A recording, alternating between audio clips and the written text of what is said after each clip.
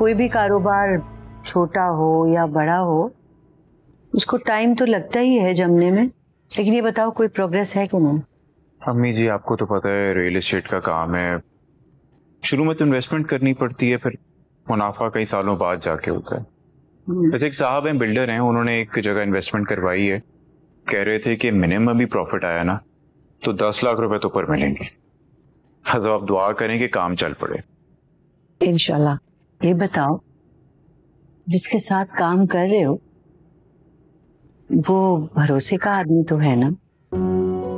अम्मी काफ़ी सालों से पता है मुझे उनका कोई ऐसी वैसी बात सुनी तो नहीं उनके बारे में। लेकिन आगे अल्लाह बेहतर जानता है। अच्छा ही होगा वो आदमी वरना कुछ ऐसी बात सुनने को मिल जाती। भाई देखें आप लोगों के सामने ही है मैं तो एक नौकरी पेशा इंसान था सारी ज़िंदगी नौकरी की है। बिज़नेस वगैरह के बारे में मुझे तो कुछ नहीं पता। एक तजर्बे वाला आदमी चाहिए था एक दोस्त ने इनसे मिलवाया तो सोचा बिस्मिल्लाह कहीं से तो करनी है इनके साथ काम शुरू कर दूँ। बस आप लोग ये दुआ करें कि काम चल पड़े। और हाँ भाई। जैसे ही मेरा काम चला मैं सबसे पहले आयान का स्कूल चेंज करूँगा किसी अच्छे से स्कूल में उसका एडमिशन कराऊँगा। इंशाल्लाह। इंशाल्लाह। वैसे आयान है किधर? खेल रहा है। चांदे प्लीज़ खुदा का वास्ते उसके बाल तो कटवाओ। अपने बच्चे की शक्ल देखे हुए मुझे अरसा हो गया। महम कितनी चीज़ें रखोगी यार? क्या हो गया है? सारिम तुम्हें क्या प्रॉब्लम है? क्यों मना कर रहे हो मुझे चीज़ें? इसलिए मना करो क्योंकि हम सिर्फ़ तीन दिनों के लिए जा रहे हैं तीन महीनों के लिए नहीं जा रहे हैं। रूमी देखो ना मैं चीज़ें रख रही हूँ और निकाल रहा है। खुद तो दो जीन्स रखता है और बैक पैक कर लेता है। अब ये चाहता है कि मैं भी दो कपड़ों में जाऊँ। तुमने कभी नाम सुना है एक नए फिनोमिना का? ट्रेवल लाइट मेरी बात सुनो।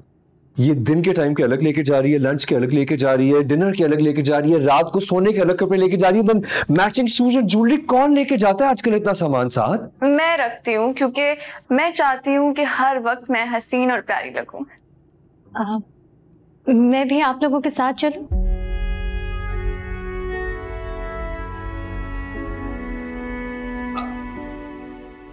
तुम तुम जाके क्या करोगी रूमी?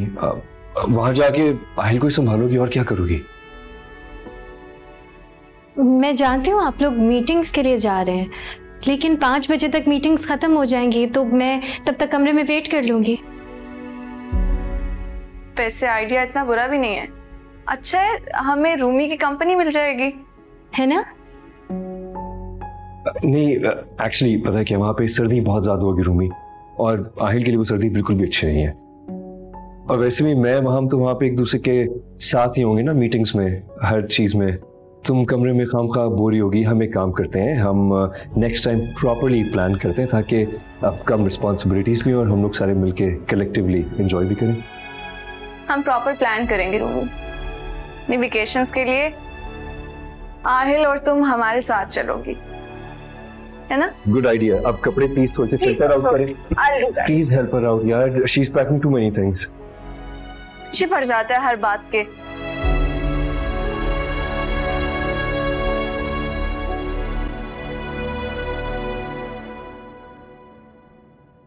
आप प्लीज़ अपना बहुत ख्याल रखना।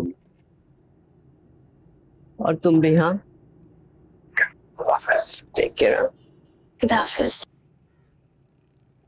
take care aunty. Okay बेटा। बाय बाय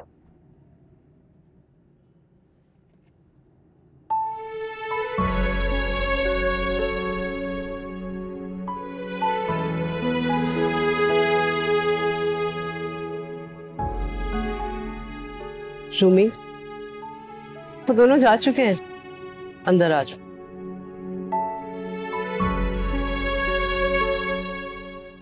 जा चुके हैं। दोनों।